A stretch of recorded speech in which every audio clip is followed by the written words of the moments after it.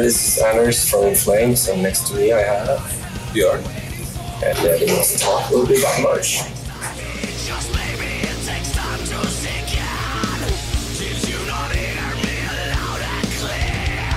When we grew up, we started buying all the time, so and I always, since since we, we started the band or we joined the band, I mean, it was, the artwork was very important to me. I think that is something that fans uh, really enjoy to have a product where you can look and you can sort of create a story, based on the artwork, and you can just dive in yourself. And, uh, I used to even buy records if with the, the right artist type of yeah, like that goes. Yeah, yeah, yeah. And you knew it was to be good. I mean, we we use um, the Jester, uh, like from the Jesterhead, from the Jester race and all. So that was a symbol that I wanted, you know, like I always seen Iron Maiden have their Eddie, and I wanted a symbol of like that that could be a logo uh, without having the name spelled out in flames.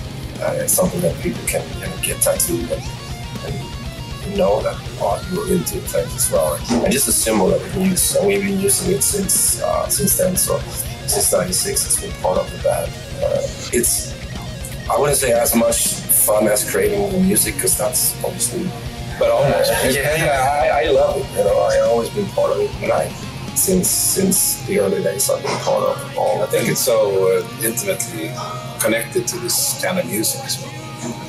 Yeah, and every single shirt we release, I always see it. So and, uh, unless there's bootleg, which I can't do anything but uh, so don't blame me by very shitty videos. But by by the real stuff, uh, get the right quality.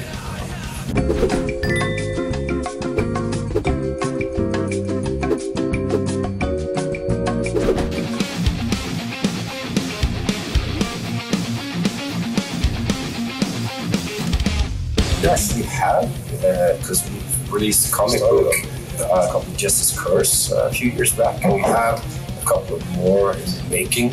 Uh, I can't say, you know, when they will be released, but there's a, a, a story. We have a script for, for several of them. I think that is super cool to the fans. That's the same guy that uh, Blake Armstrong. That's he did the last what? Sirens in Siren Charms. Siren Charms, yeah. Siren Charms. Yeah, he's just an amazing artist. And yeah. It's all these ideas and together with the lyrics and lyrics they discuss all, all sorts of crazy stuff.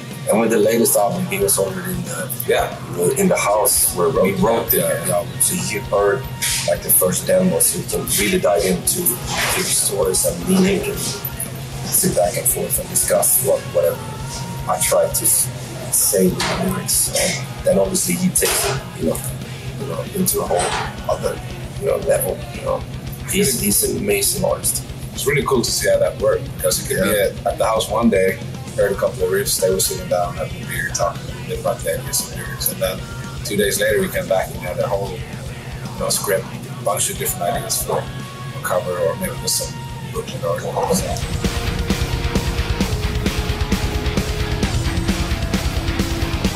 Yeah, I'm doing. Uh, it's me and a friend of mine. His name is Mark Kowalczyk. He lives in Calgary and he's an artist. Uh, he has an art school as well. Uh, we, we, he was a fan of the band. We, we hit it off, and he was awesome. And then he's a great artist, and I have a lot of ideas, but I can't draw for shit.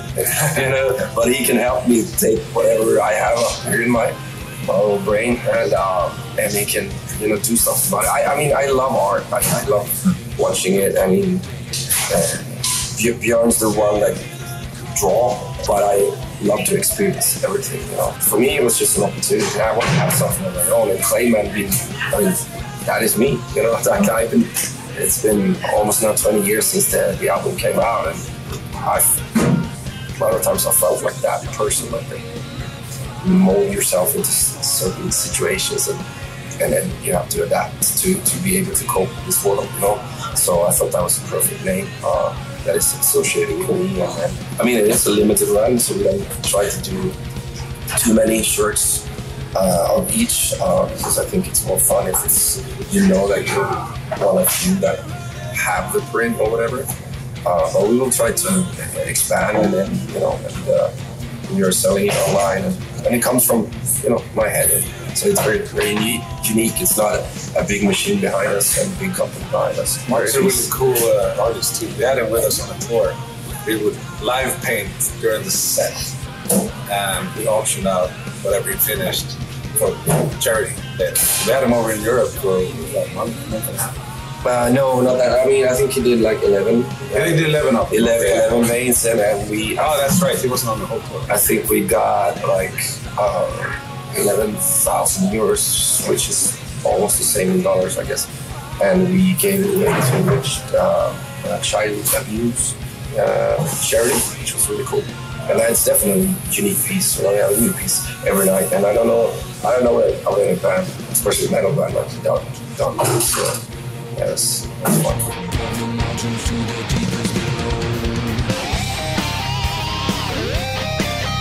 I mean, we're serious about Christmas. You know, it's uh, Family, Yeah. very much family oriented. cook, cooking a lot, and I mean, unfortunately, this time around we just get home right before Christmas. So we actually don't even get home. no, no, you go in, you go on vacation. Yeah, I am. Uh, but uh, yeah, so I usually do a lot of cooking, uh, and then this time I don't get to prepare anything. I just come home and sit down at a, at a table, which is could be could be nice for once, even though I love to partake.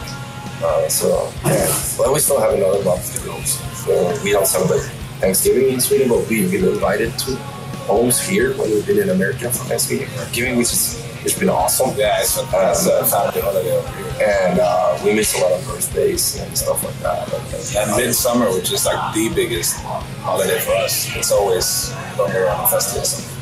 And since we is nothing like the movie. Nah. Just, just to say that.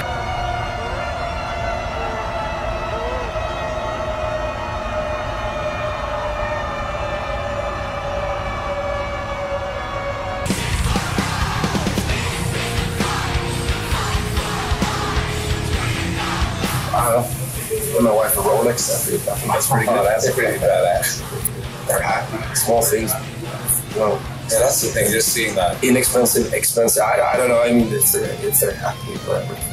Uh, ever since I was a kid, it was it was always a, a big family. So it was always tons of kids and grandmas, grandpas, and everybody was there.